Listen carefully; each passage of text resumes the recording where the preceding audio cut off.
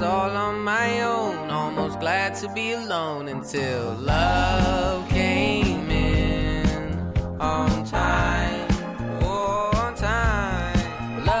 Welcome back to my channel and thank you so much for being here today. If you're new to my channel, welcome to Force of Nature. Today I'm super excited because yesterday I posted on my Instagram asking you guys to leave questions about sex, relationships, love, sexual orientation, and pretty much things of that matter. So today I'm going to be answering those questions for you guys while I repot my plants. I thought that that would be pretty fun. You know, it's long overdue. A lot of my plants need to be repotted, so I figured why not repot some plants and just answer like questions. So if you guys are interested in seeing me repot some plants today and answer some questions about sex, love, and relationships, then please keep watching. So this is my yucca for those of you who haven't seen it already. If you haven't been able to tell already, this thing has grown like crazy since I first got it. So I'm going to be potting my yucca plant and here I am absolutely in love with this. It's just beautiful. I adore it. I actually got this from my grandmother. I thought that was pretty great that she decided to give this to me as it's probably something that's sentimental to her so I thought that was so sweet. But this is what I'm going to be putting my yucca in you guys. Let's get to the part that you're really here for. The questions. Let's see. So first question I got is how can you reconnect with your partner sexually? This is a tough one because everyone is different, you know, everyone has like different preferences and different things they like to do. And in my opinion, okay, so this is gonna sound kind of hypocritical because I haven't tried it yet myself, but I've heard of it and I've wanted to try it. Tantric yoga. If you haven't tried tantric yoga yet, tantric yoga is something that can pretty much help you and your partner connect or reconnect or rekindle that energy that you guys may have lost with each other. It's just a way to get very intimately close with one another and basically balance out your energies, sort of like yin and yang to become one. It's a practice that has been used for quite some time. I think that doing things like that that are intimate with your partner and you know getting close with them and stuff is just it's important. So first, I'm going to be taking this I'm adding some soil in there. It's going to be very messy because my soil is way over here, you guys. Uh, should probably move it closer. So I've got some grade A soil right here. Basically, like I was saying before about the tantric yoga, I've always wanted to try it with a partner. I wish I had, you know, someone who would do it with me. There are other ways you can connect with your partner. My thing is, if you feel disconnected from them at all, I think that it's best to have a talk with them about your connection and why you feel that it's been disconnected and why you feel like, you know, like it's no longer what it used to be. Let them know that you're feeling things are a bit disconnected and that you want to rekindle a little bit. And maybe suggest tantric yoga. Tantric yoga is definitely a good first starter for that sort of thing. Anyways, so I've got some soil in here. So I'm going to be grabbing my yucca from the base. All right. Look at those beautiful roots she's got going on. Anyways, so the next question I got, oh, let me just see really quick, is how deep is sex in my opinion? The thing is, sex can go one of two ways. It can either be deep or it could be fun and quick. Everyone has different preferences. Some people like the whole, you know, one time thing and some people like polygamous relationships. It's all about your preference. Sex, in my opinion, is super sacred, but it doesn't have to be. It doesn't always have to be. You know, it doesn't have to be something that you feel you can't have fun with. The thing is, I feel that sex is a sacred thing with your partner, but there are people who have kinks, there are people who have certain likes that they like, people who like doing certain things that don't involve, you know, being all lovey dovey and stuff. It just all depends on the situation, you know what I mean? Like, if you like to have casual sex, go for it. Wow, I'm really tired, but I'm editing. But anyways, you guys, I forgot to say to always be safe and always use condoms. Of course, like if you're married, whatever, uh, you know, monogamous, whatever it may be, I think that people should be able to do what they want with their bodies and that other people shouldn't judge that. For those of you who don't know, by the way, I like to keep crystals in my plants because it helps them transmit really good energy and keeps them just, you know, growing, especially quartz. Quartz, you know, a lot of you know that quartz is like really good for absorbing negative energy. So next question is how do you let go completely in order to become yourself and be able to, you know, sort of give yourself to your partner without feeling shy, I'm assuming is what she meant when she asked that. It takes a while, honestly. When you have a connection with a person, it has to be, like, it doesn't have to be sacred when it comes to sex. But if you want to connect with them in that way, For instance, like say that you want to have like, you know, a deep connection when it comes to sex, you have to communicate that to your partner. You want them to know that your goal is to connect with them on a deeper level because some people aren't aware of that. Some people, you know, some people are just looking for casual sex. Some people aren't looking for anything super serious. So when it comes to things like that, you want to make sure that you're communicating these things. It usually all comes down to yourself. If you want to have that connection with a person, look within and realize that maybe they already think you have that connection. You know, maybe maybe in their mind you're already connected that way sacredly. The whole point of the question that she was asking is how do you I guess basically get the confidence to submit yourself to them basically. Submit as in like feel comfortable to where during sex or during that time of you know sharing energy or whatever she's basically asking how to get the confidence to do whatever without feeling insecure about yourself honestly my opinion like for me this is just personally for me but I am a very sexual creature. It's our human nature, but when I want to do something that I really want to do, I just go for it. Not everyone does, but I do, you know, it, and I'm not gonna lie, it takes me time sometimes. It really does. It's it's going to take time. That's something that's sacred, and it's really hard to get in that comfort zone. I just feel personally that if you're open enough to giving yourself to that person sexually in general and getting comfortable and having sex with them, then you should be comfortable enough to do whatever because sex is a sacred thing and you shouldn't just hand it over to just anyone. So basically, my point is if you are trying to get that confidence, I think that if you are already past the point where you're letting them have sex with you and, you know, connecting in that way and it's gotten that intimate, you should be able to do whatever because if you are able to let them, you know, get that sort of connection out of you, then you shouldn't be shy you shouldn't be afraid to do what it is you want to do because that's something sacred. If you're having sex with a person and you feel uncomfortable and afraid to try new things, then you probably shouldn't be having sex with that person because that means that the, the connection isn't deep enough to be at that level of you know intimacy anyways. You know don't get me wrong i've had insecurities during sex and that's when you realize hey this isn't the person i should be having sex with. We don't have a connection deep enough to be doing something like this on this level of intimacy. You should be able to give yourself to that person and just fully submerge yourself in their love. I just think that sexual energy is something that doesn't have to be you know for one person. Polygamous relationships are awesome. I'm all for them if you're, you know, if you feel that you're open enough to do something like that.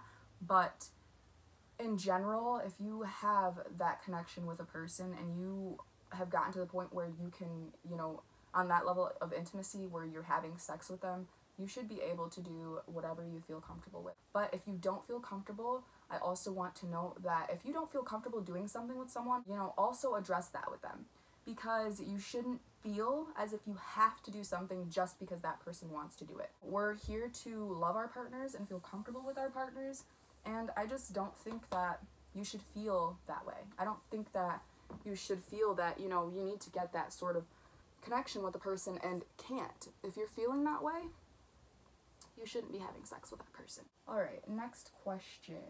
Have I tried tantric sex or yoga? No, I have not. I answered that semi in the beginning. Like I said before, I really would love to have a partner that would do something like that with me. Unfortunately, I haven't found anyone who would do something like that. So, yeah, I mean, my opinion on tantric yoga, I freaking love the thought of it. I love the thought behind it. Everything about it is great. And I think that everyone should try it if you do have a partner who's willing to try something like that with you. Yoga is such an amazing connection between people, and there are so many intimate energies that come with it when you're doing it with a partner. So it's something that I recommend, but it's definitely something I haven't tried yet. I repotted my Majesty palm yesterday. I decided that I wasn't going to do that on camera because the thing is huge and it's like, it's just, no. The part about repotting plants that I think is so fun is when you're like listening and you can just hear the water like seep through the soil. It almost sounds like it's like cracking. It sounds like pop rocks. I just love that sound. So the yucca plant's done. Next question. My boyfriend keeps making me feel as if I have to do everything he wants. I feel too much pressure. Okay, I'm gonna stop right there. First of all, your boyfriend needs to back off. Don't make your girlfriend feel pressured. And vice versa. Don't make your boyfriend feel pressured. When it comes to sex, let's say you're in a relationship with someone who really likes sex and they're comfortable and they're confident with their body. You are with someone like that and you know that you don't have that confidence. In my opinion, before you do anything, you should talk to them about sex in general. When you're in a relationship, before you even get to the level of having sex with your partner, having a talk about sex is honestly important. And I know it sounds awkward and stupid. Honestly, talking about it first will get you in that confident zone. Basically, if you communicate to them what makes you uncomfortable, what you do like, and you know, things like that, and things that you're willing to try, whatever, if you communicate that with them and they have, you know, that understanding of what it is that you like and what you don't like, they have they'll be able to know how to sort of integrate what it is that you do like and keep out what you don't like. That's also another thing you need to communicate. If your partner is pressuring you into doing something you don't want to do, let them know. You know, let them know that you're uncomfortable and that you don't want to do that thing because we shouldn't have to do things we don't want. To. It's not okay and it's just uncomfortable. So I'm gonna start filling this pot with soil. I'm scooch a little closer while I'm filling this one. Okay, so another question I got, which was obviously like a main question that I should have answered in the first place. How do I feel about the difference between sex and love? What is the difference and is there a difference? Take things with a grain of salt because these are my opinions and tips, my own opinions and tips. So, in my opinion, sex is definitely sacred. It doesn't have to be though. Like I said before, sex doesn't have to be something that's sacred. Sex can definitely be something that's fun and casual. That's the thing, the difference between sex and love.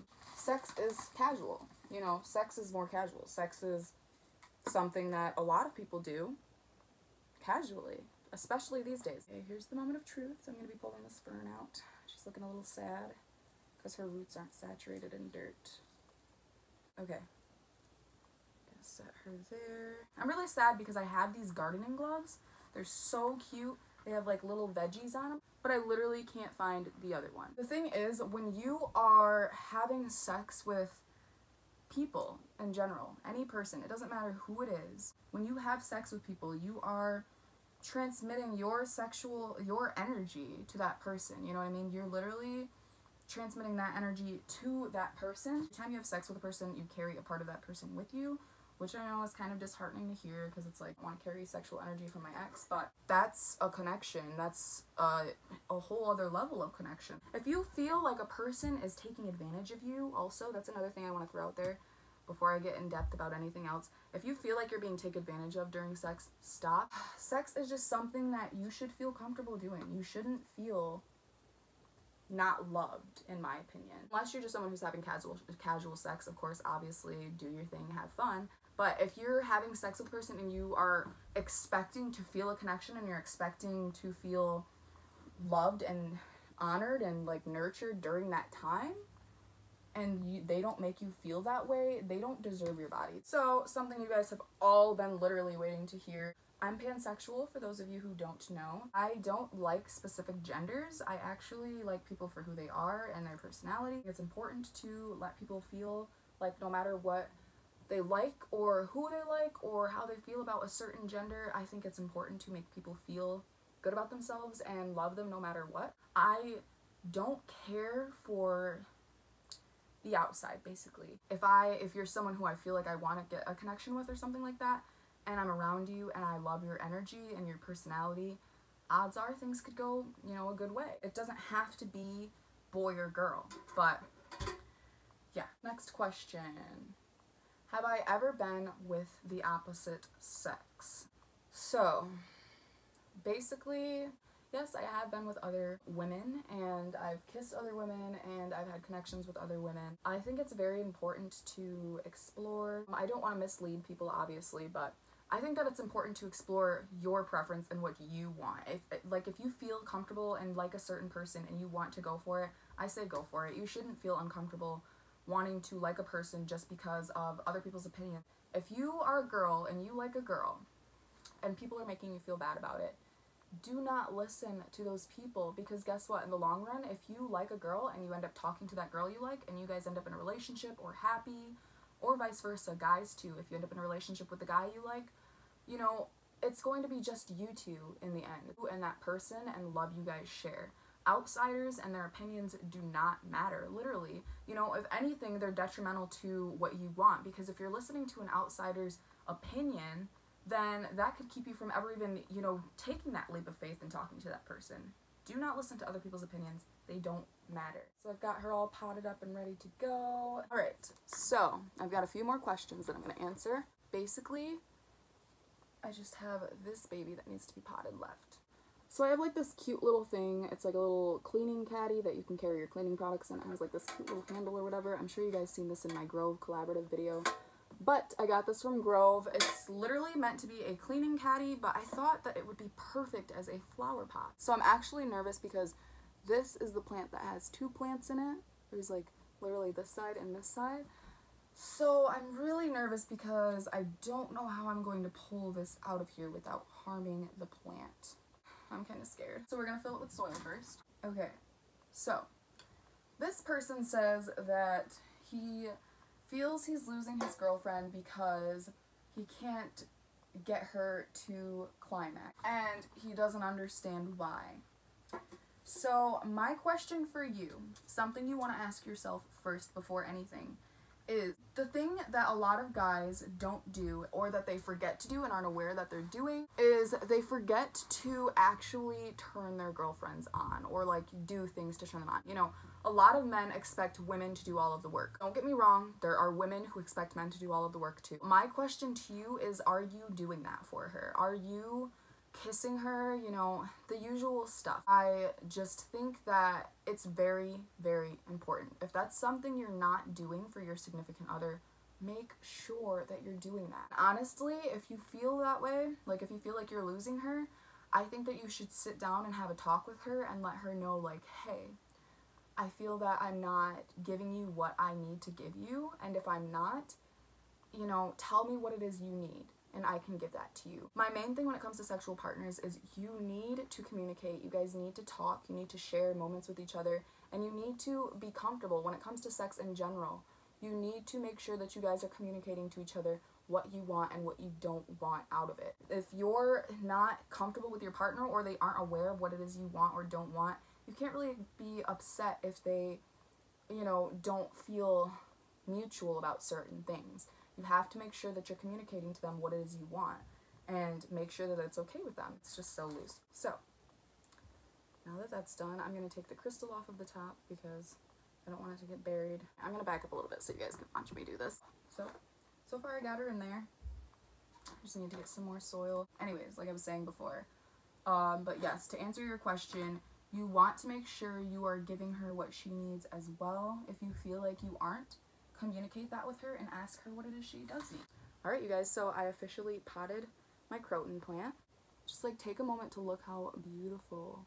Alright, you guys, so I pretty much potted all of my plants today. I didn't get to answer as many questions as I wanted to. Of course, there's so much more in depth that I could go into. I'm going to save that for another Q&A because I know you guys have personal questions for myself. Alright, you guys, so I'm super excited because I finally got my plants potted. I just love these so much. I'm so happy that they're finally in new homes. So I'm super happy that I could talk about this today with you guys. I really feel that it's important to talk about these things. I'm really sad I couldn't answer more questions today, you guys. I didn't have too much time, so I answered what I could. I'm just happy I could pot some plants with you guys and talk today. I do plan on doing another Q&A, so if you want to, please feel free to leave questions down in the comments below. And of course, make sure you hit that bell button so that you can get notifications every time I upload a video. But be sure to also hit the subscribe button if you liked my video, you know you want to do it, so just go ahead and hit the subscribe button, you guys. Anyways, as I always say, do a good deed today, spread that lunar love, and peace and love.